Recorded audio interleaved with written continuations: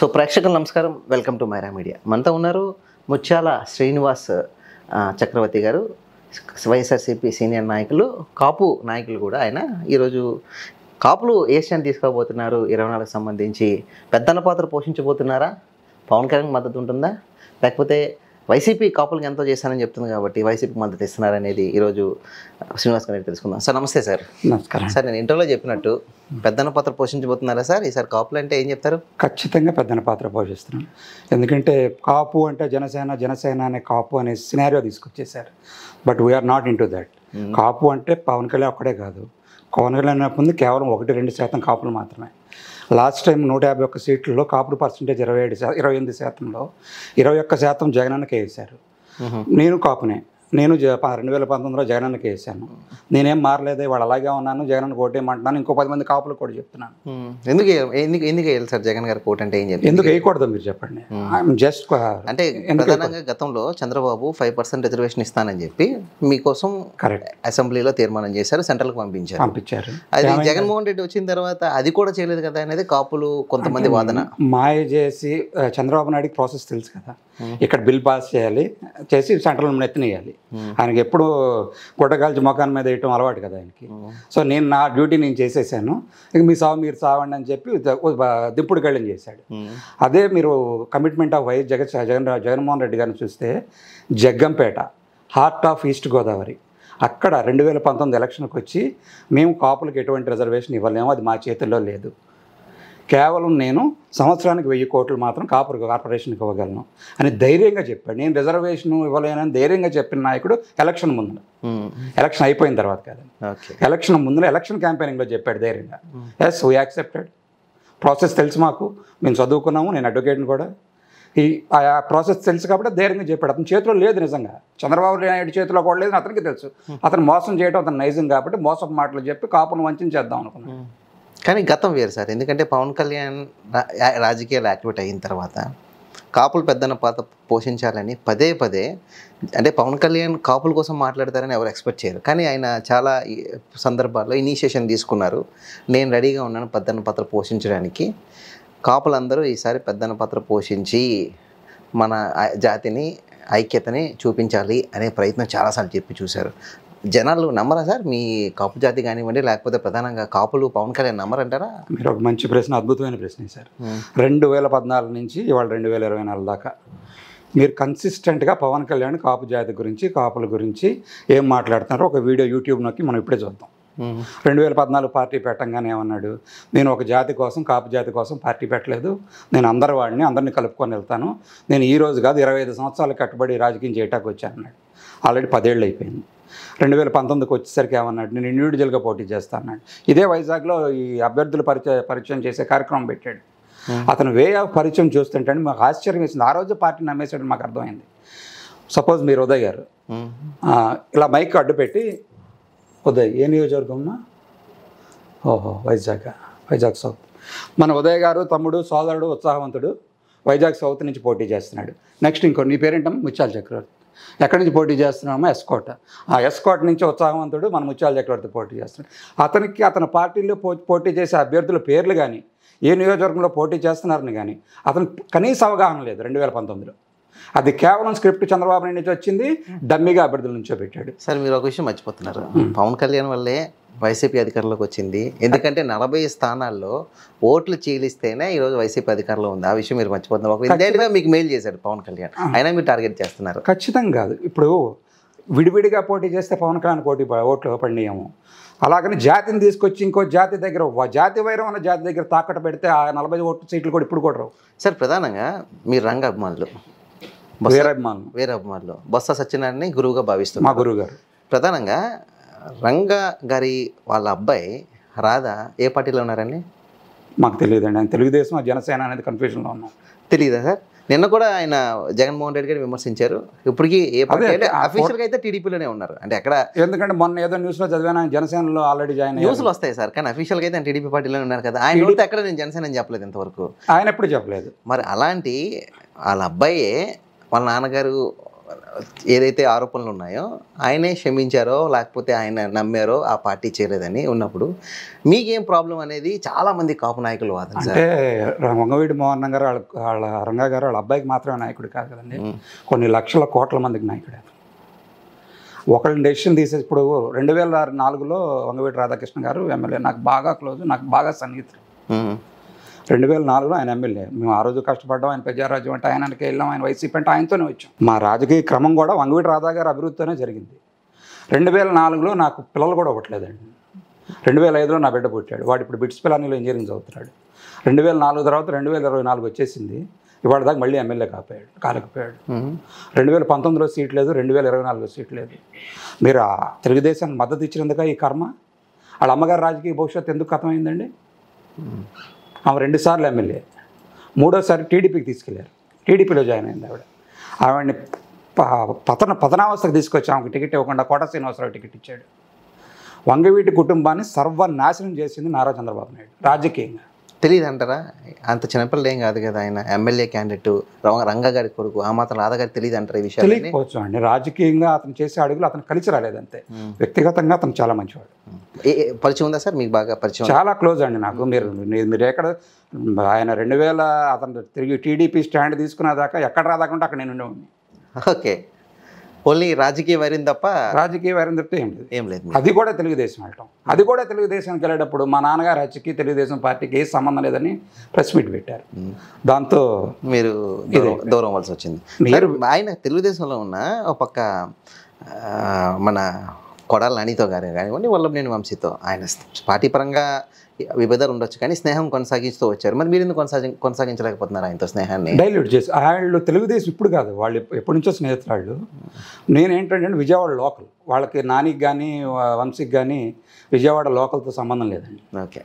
ఇప్పుడు ఆయన వదిలేస్తే కొంతమంది ఎవరికాళ్ళు అడపా చేసి ఉన్నాడు. మేము అక్కడి నుంచి వచ్చిన అడపా చేసి మేము అంతా ఒకటే అతని దారి అతను చూసుకున్నాడు. పెద్దిరెడ్డి గారు జారి తీశారు. నన్ను బొత్స సత్యనారాయణ గారు జారి తీశారు. రాజకీయం వేరు వేరు దారులు అయిపోయాం. ఇప్పుడు అలా వెళ్ళలేని వాళ్ళు చాలామంది ఉన్నారు కదండి క్యాడర్. వాళ్ళకు కూడా చిన్న చిత్తగా ఏమైనా సహాయాలు వస్తే చే చేసే పరిస్థితులు ఆయన కూడా లేడు. ఎవరు? వంగవేటి రాధాకృష్ణ గారు. వాళ్ళకి చిన్న చిన్న చిత్తగా సహాయాలు మేమే చేయగలుగుతున్నాం. వాళ్ళ పార్టీ ఉంది కాబట్టి. ఉమ్. అది మేము కూడా చేతులు ఎత్తేసాం అనుకోండి. అన్- అన్యాక్రాంతంగా రోడ్డు పడిపోవాళ్ళు ఆయన రాజకీయ భవిష్యత్తు ఉందంటారా లేదంటారా రాధా గారికి? నేను ఆయన మీద ఎక్కువ కామెంట్స్ చేయను. చేయను. ఏది ఆ సన్నిహితం వల్ల?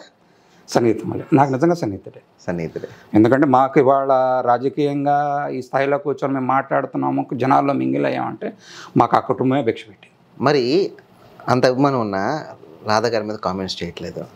రాధా గారి తర్వాత అంత ఫేమ్ కానివ్వండి ఆ నాయకత్వ లక్షణాలు ఉన్న పవన్ కళ్యాణ్ ఎందుకు కామెంట్ చేస్తున్నారు అనేది చాలా మంది వాదన. Pawan? Kalyan is a inconsistent politician అతను ఒక భాష మరో రఘురామరాజు గారు అండి నేను చెప్పేది. ఇవాళ ఒక మాట మాట్లాడితే రేపు ఇంకోటి మాట్లాడతాడు. రేపు ఇంకోటి మాట్లాడితే ఇంకోటి ఎల్లుండి ఇంకోటి మాట్లాడతాడు. ఇవాళ ఒక నాయకుడిని కీర్తిస్తే రేపు ఇంకో నాయకుడిని కీర్తిస్తాడు. ఎల్లు ఆ ఎల్లుండి ఇంకో నాయకుడిని కీర్తిస్తే ఆ మరుసటి రోజు ఇంకో నారాయణ కీర్తి కీర్తిస్తాడు. ఆ కీర్తించే నాయకుడు అంతకుముందు మూడు రోజుల క్రితం ఈ నమ్మనాబూతులు తిట్టిన నాయకుడే ఉంటాడు. ఉమ్. మీరు అతనికి హైరార్కి చూడండి. అతను ఎక్కడి నుంచి ఎక్కడికి వచ్చాడు ఏ స్థాయికి వచ్చాడు చివరికి ఇరవై ఒక్క సీట్లకి తీసుకెళ్ళి తాకట్టు పెట్టేశాడంటే పార్టీ. మీకు తెలుసా అండి? అలా ఎందుకు అనుకోవాలి? తన బలాన్ని తను గుర్తించాలనుకోవచ్చు కదా. తన బలాన్ని తను గుర్తిస్తే రాష్ట్రం మొత్తం పార్టీని అభివృద్ధి చేస్తాను ఈ పోతిన మహేష్ గారు లాంటి వాళ్ళని ఇలాంటి వాళ్ళని ఎందుకు గొంతు కోయటం? ఇలాంటి కార్యకర్తలు గొంతు ఎందుకు కోయటం? ఇప్పుడు పార్టీ ఫండింగ్ ఇవ్వదండి. మీకు తెలుసో లేదో ఏదో ఎలక్షన్ అప్పుడు నాయకులు ఖర్చు పెడతారు కానీ ఐదు సంవత్సరాలు ఎవరు ఉనికి వాళ్ళు ఖర్చు పెట్టుకోవాలంటే వాళ్ళు ఖర్చు పెట్టుకుని వాళ్ళు ముందుకెళ్ళటమే. ఏ నాయకుడు ఎవరికి అండగా నిలబడరండి. అలాగని పార్టీలో మేము ఖర్చుకున్న పెట్టడం కాదు మాకు పదవులు రావాలంటే అది కూడా తప్పు. ఎందుకంటే రాజకీయం అనేది వ్యసనం. ఆ వ్యసనంలో మేము డబ్బులు తగిలేస్తున్నాం. అంటే ఆయన చాలాసార్లు చెప్పారు మనం పొత్తులో వెళ్తున్నాం త్యాగాలు సిద్ధపడండి గౌరవప్రదమైన పొత్తు వేరు పొత్తు వేరు. గౌరవప్రదం లేదు అక్కడ గౌరవం లేదంటారా? ఉందంటారా? మీరు చెప్పండి. ఉంది కదా సార్ చంద్రబాబుతో డయాస్ పంచుకుంటున్నారు. చంద్రబాబుతో డయాస్ పట్టుకుంది ఎప్పుడండి? They are together from two thousand fourteen ఇప్పుడు ఓపెన్గా చెప్పాడు మేము అప్పటి నుంచి చెప్తున్నాం. చంద్రబాబు నాయుడు గారి గీత నేను జవదాటనని ఇప్పుడు చెప్తున్నాడు. "ఆ, నువ్వు దాటమని మాకు ముందే తెలిసాయా అంటున్నాం మేము. అంటే ప్రధానంగా ప్రధానంగా పవన్ కళ్యాణ్ టార్గెట్ చేయడానికి ఒక్క ఆ ఒక్కనే కారణం అంటారా? ఇన్స్ ఇన్కన్సిస్టెన్సీ అన్నారు మీరు. అది ఒక్కటే కారణం అంటారా? లేకపోతే ఇంకా పర్సనల్గా అతనికి రాజకీయ నాయకుడు ఉండాల్సిన లక్షణాలు ఏమీ లేవండి. నాకు ఇవాడికి క్వశ్చన్ మార్కే అతను కాపుకు సంబంధించిన మనిషో కాపు కాదో నాకు ఇవాడు ఎందుకంటే చాలాసార్లు అడిగాయి కొణిదెల అనే ఇంటి పేరు ఉన్న వాళ్ళు వాళ్ళ గోత్రాలు పోస్ట్ చేయండి అని కాపు కమ్యూనిటీలో నాకు ఇవాళ దాకా వీళ్ళ ఫ్యామిలీ తప్పితే వేరే ఫ్యామిలీ రాలా. నాకు ఇవాళకి క్వశ్చన్ మార్కే ఏమ- ఉంటుంది అంటారు దీని గతలా? తెలియదు నాకు. ఎందుకంటే దానికి ఇప్పుడు దాకా చాలా గ్రూపుల్లో చాలా స్టేజ్ల్లో చాలా డయాస్లో చాలా పోడియంస్లో అడిగాను. కొణిదెల అని కాపు కమ్యూనిటీలో ఎవరో వేరే కుటుంబాలు ఉన్నాయా? వాళ్ళ గోత్రాలు ఏంటి? ఒకసారి పంపించండి నాకు అని ఎందుకంటే వీళ్ళు మూలాలు తెద్దామని. నాకు ఇప్పుడు దాకా ఎవరు తగలేదు. గతంలో మీరు ఒక చాలా కాంట్రవర్షియల్ మాటలు మాట్లాడారు. గుర్తుందా మీకు? నాకు గుర్తుంది. ఈవెన్ వాళ్ళ మదర్ సంబంధించి కూడా కొన్ని కీలకమైన వ్యాఖ్యలు చేశారు. నాకు- ఇప్పటికీ కట్టుబడి ఉన్నారు ఆ వ్యాఖ్యలు నాకు వచ్చిన కీలక సమాచారం ఒక కీలక వ్యక్తి దగ్గర నుంచి వచ్చింది. ఆవిడ చెప్పిన ఆవిడ ఒక సీనియర్ మహిళా న్యాయవాది ఆవిడ చెప్పిన ఇన్ఫర్మేషన్ నేను యాజ్ ఇట్ ఈజ్ మీడియా ముందు చెప్పాను. నాకు చెప్పిన వాళ్ళు ఇవాళకి కట్టుబడి ఉన్నారు. ఆవిడ చెప్పారని చెప్పి నేను ఇవాళకి కట్టుబడి. ఎంతవరకు కరెక్ట్ అంటారు? అంటే మామూలుగా ఇంటర్నల్ సమాచారం దాని తర్వాత ఫర్దర్గా ఇది ఇంకో వైపు రూట్ తీసుకుంటుందని చెప్పి దాన్ని ఇగ్నోర్ చేశాను నేను. ఇది వేరే వైపు వెళ్తుంది మహిళలను కించపరకం ఆ యాంగిల్ వెళ్తుంది. That is not good even మా గురువు గారు కూడా నన్ను ఇంట్లో నువ్వు మాట్లాడు మాకు ఇప్పుడు ఒక ఫ్యామిలీలో రెండు కమ్యూనిటీలు ఉండడం అనేది తప్పేం కాదు. ధైర్యంగా చెప్పండి స్వామి. మీరు ధైర్యంగా చెప్పండి. మీకు ముసు మీరు కాపును క్లెయిమ్ చేస్తున్నారు కదా కాపు ఓట్ బ్యాంక్ నాదే అంటున్నారు కదా మీరు ధైర్యంగా చెప్పండి. ఎందుకు భయం? మేము యాక్సెప్ట్ చేస్తాం. చిరంజీవి కూడా ప్రధానంగా తీసుకుంటే సినీ ఇండస్ట్రీలో పెద్ద దిక్కుగా ఉన్నారు. అవును. కాపు కాపు అప్పుడు గతంలో ఆయన పార్టీ పెట్టినప్పుడు కూడా కాపులందరూ ఏకదాటిగా ఆయన్ని నేను ముఖ్యమంత్రి పనిచేశాను పనిచేశారు కదా నేను అప్పుడు తెలియదా సార్? పవన్ కళ్యాణ్ రాజకీయాలు వచ్చేసరికి పవన్ కళ్యాణ్ ఫ్యామిలీని తీసుకొచ్చి ఈ విధంగా చేస్తున్నారు అనేది కొంతమంది వాదన. అది దానికి ఎలా చూస్తారు? చిరంజీవి గారు రాజకీయం చేసినప్పుడు ఎవరిని వేరే కులాలను కానీ వేరే మతాలు కానీ ఎవరితో కాంట్రవర్సీ చూడలేదు కమ్మవారి దగ్గరికి వెళ్ళి తా తాకట్టు పెట్టడం వెళ్ళి కానీ ఇంకొకటి తాకట్టు వ్యాపారం చేయలేదు. చిరంజీవి రాజకీయం చేశాడు అతని వల్ల కాలేదు చేతులు ఎత్తేసాడు. గౌరవంగా తప్పుకున్నారా? గౌరవంగా తప్పుకున్నాడు. చేతకాక తప్పుకున్నారని కొంతమంది అంటారు చేతకాక తప్పు గౌరవంగా అంటే చేతకాక గౌరవంగా తప్పుకున్నారు. పవన్ కళ్యాణ్ పోరాడుతున్నాడు అనుకోవచ్చు కదా? ఇది ఇది పోరాటం అంటే ఇది కాదండి. పోరాటం అంటే జగన్ రెడ్డి పోరాడుతున్నారు చూడండి. దాన్ని పోరాటం అంటాం. పదహారు నెలలు జైల్లో పెట్టి దేశంలోనే అత్యంత పవర్ఫుల్ లేడీతో ఫైట్ చేశారు చూసారా? అది పోరాటం అంటే పర్సనాలిటీ డెవలప్మెంట్ ఎవరైనా యూత్కి వాళ్ళు చెప్పాలంటే అది చెప్పాలి. ఎన్ని రాళ్ళు వేసి కొడుతున్నా అది గోడ గోడ తగులుతుంది గోడ తగులుతుంది ఆ గోడకి తల గుద్దుతూనే ఉన్నాడు. సక్సెస్ అయ్యాడు. భగవంతుడు ఎప్పుడు పోరాడేవాడిని ఎప్పుడు కాపాడతాడండి. ఇవాటి దాకా నువ్వు అడుగుతుంది ఏంటి నన్ను గెలిపించడని అభ్యర్థిస్తున్నాను అంటున్నాడు. అదాని ఒక లీడర్ కెపాసిటీ పదేళ్ళు పార్టీ పెట్టి ఆయనకి అసెంబ్లీలో అడుగు పెట్టాలని ఉందేమో అడగడం తప్పేమో. అదేదో చంద్రబాబు నాయుడు డైరెక్ట్గా వెళ్ళిపోయి టీడీపీ నుంచి పోటీ చేస్తాను కానీ నన్ను రాజ్యసభకు అసెంబ్లీకి పంపించండి. రెండు నిమిషాల పని కదా అది. ఆయనకంటూ పార్టీ ఉంది కదా సార్ ఒక ఇరవై రెండు మంది పార్టీ చేయాల్సిన కార్యక్రమాలు రెండు వేల పదకొండులో జగన్ పార్టీ పెట్టారండి. రెండు వేల పద్నాలుగులో పవన్ కళ్యాణ్ పార్టీ పెట్టాడు. ఎదుగుదల చూడండి. ఎదుగుదల ఒక్క ఎమ్మెల్యే లేడు. ఉన్నారు కదా ఉన్న వాళ్ళని కూడా లాగేసుకున్నారు కదా మీరు? లాక్కోలేదు. అతను ఇతను పోకళ్ళు నచ్చక వెళ్ళిపోయాడు.